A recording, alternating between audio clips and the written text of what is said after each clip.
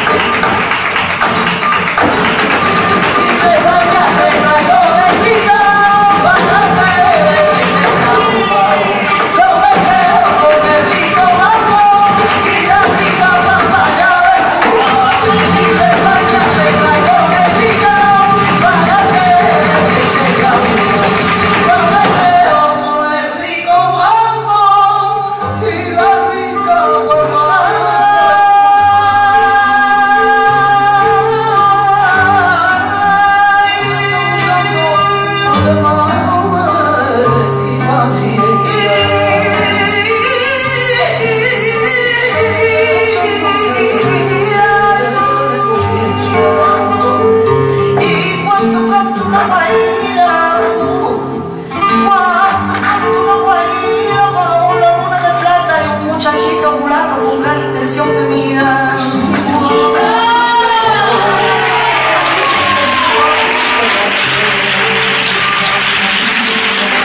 La pena del amor, vida mía.